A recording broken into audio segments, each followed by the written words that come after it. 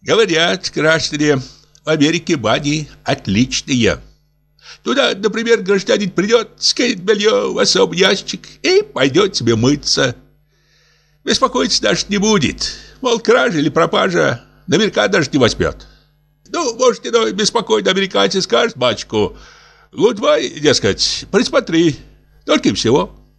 Побоится это американец, назад придет, а ему чистое белье подают, стиранное и глаженное. Портянки, небось, смелее снега. Почтанники зашиты, залатаны. Житишка. А у нас парень тоже ничего, но хуже. Хотя тоже быть можно. У нас только с наверхами беда. Прошлую субботу я пошел в баню. Не ехать же, думаю, в Америку. Дают два номерка. Один за белье, другой за пальто с шапкой. А голубь человеку куда номерке деть-то? Прямо сказать, некуда. Карманов нету, кругом живот до ноги. Ха, грех ходить с номерками. К бороде не привяжешь. Ну, привязал я к ногам по номерку, чтобы не в раз потерять. Вошел в баню. Номерки-то перечь по ногам хлопают. Ходить скучно, а ходить надо. Потому шайку надо. Без шайки какое ж мытье. Грех один. Ищу шайку. Гляжу, один гражданин в трех шайках моется. В одной стоит, в другой башку мылит, а третью левой рукой придержит, чтобы не сперли. Подтянул я третью шайку, хотел, между прочим, ее себе взять, а гражданин не выпущает. «Да что ж это?» — говорит. «Чужие шайки воруешь». «Как ляпну?» — говорит. «Тебе шайка меж глаз. Не зарадуешься?» Я говорю. Не царский, говорю, режим шайками ляпать. Эгоизм, говорю, какой. Надо же, говорю, и другим побыться. Не в театре, говорю. А он задом повернулся и моется.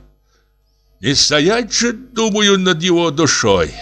Теперь, думаю, он нарочно три дня будет мыться. Пошел дальше.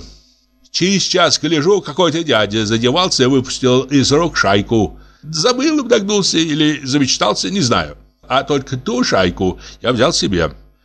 Теперь че и шайка есть, а сесть негде. А стоя мыться, какое ж мытье? Грех один. Хорошо. Стою стоя, держу шайку в руке, моюсь, а кругом-то батюшки светы, стирка замасильно идет. Один штаны моет, другой подштанники трет, третий еще что-то крутит. Только, скажем, вымылся, опять грязный. Брыщут дьяволы. И шум такой стоит от стирки, мыться неохота. Не слышишь, куда мыло трешь. Грех один. Ну их, думаю, в болото. Дома домоюсь. Иду в предбанник. Выдают на номер белье. Гляжу, все мое, штаны не мои. Граждане, говорю, на моих тут дырка была. А на этих, Эван, где? А батч говорит, мы, говорит, за дырками не приставлены. Не в театре, говорит. Хорошо. Надевают штаны, иду за пальто. Пальто не выдают, номерок требуют, а номерок на ноге забытый. Раздеваться надо. Снял штаны, ищу номерок, нет номерка. Веревка тут на ноге, а бумажки нет. Смылась бумажка. Подаю банчику веревку, не хочет. По веревке, говорит, не выдаю. Это, говорит, каждый гражданин настрижет веревок, польт не напасешься. Обожди, говорит, когда публика разойдется. Выдам, какой останется.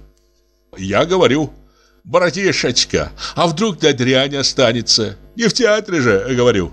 Выдай, говорю, по приветам. Один, говорю, карман рваный, другого нету. Что касаемо пуговиц, то, говорю, верхняя есть, нижних же не предвидится. Все-таки выдал. И веревки не взял. Оделся я, вышел на улицу. Вдруг вспомнил, мыло забыл. Вернулся снова, в пальто не впущают. А раздевайтесь, говорят. Я говорю, я, граждане, не могу в третий раз раздеваться. Не в театре, говорю. Выдайте тогда хоть стоимость мыла. Не дают. Не дают, не надо. Пошел без мыла.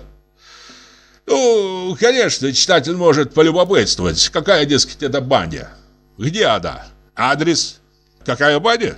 Обыкновенная, которая в гривенник.